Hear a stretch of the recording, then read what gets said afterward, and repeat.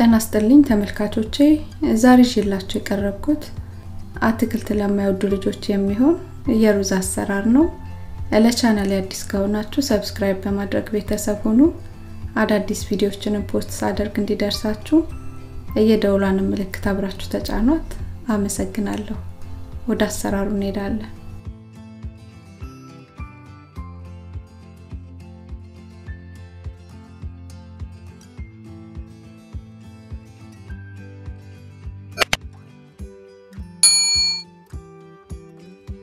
ለሩዝ የምጠቀመው ትንንሹ ቆስጣና ብሮኮሊ ናቸው።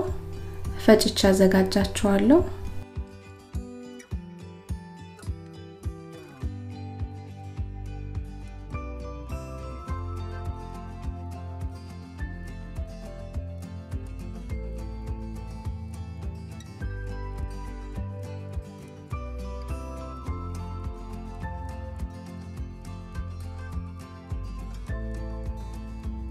በድስት ውስጥ ድቅቅ ብሎ የተከተፈ ነጭ ሽንኩርት አለኝ።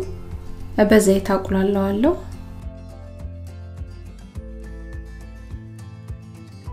ሩዙን እንደዚህ በነጭ ሽንኩርት አቁላልተን ስንሰራው ጣዕሙ ልዩ ነው የሚሆነው። ልጆቹን በቀላሉ ይወዱልናል።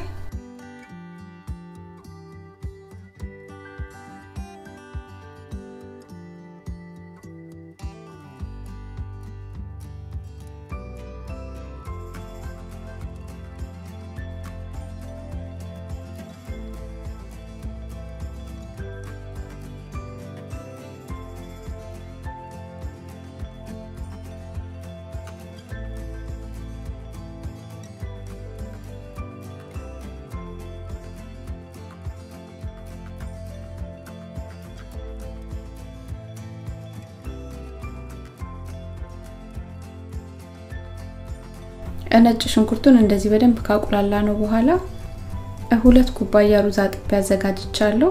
ሩዙን አስገባና አቁላላዋለሁ።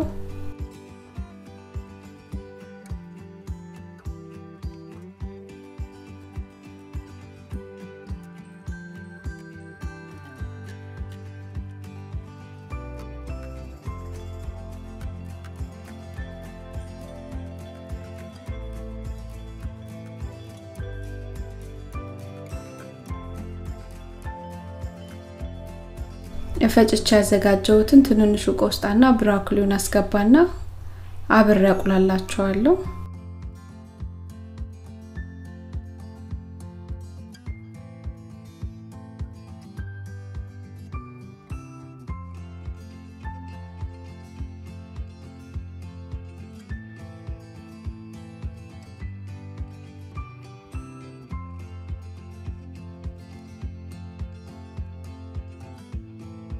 ቅመሞቹንና ጨው አስገባለሁ። አንድ የሻይ ማንኪያ ጨው፣ ግማሽ የሻይ ማንኪያ ኮሪያንደር፣ አንድ የሻይ ማንኪያ ቁንዶ በርበሬ እና አንድ የሻይ ማንኪያ ከሙን አስገባለሁ።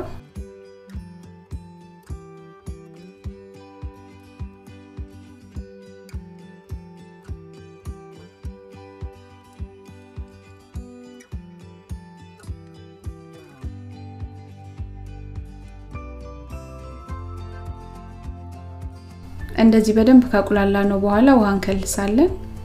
ለሁለት ኩባያ ሩዝ አራት ኩባያ ውሃን የተጠቀምኩት።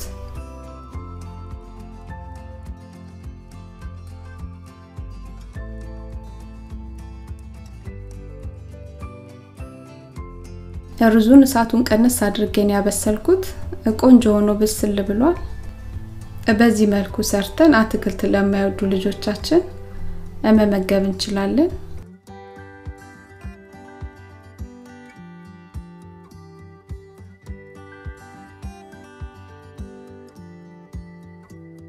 ይህን ይመስላል ምርጥ ሩዝ በአትክልት አሰራር።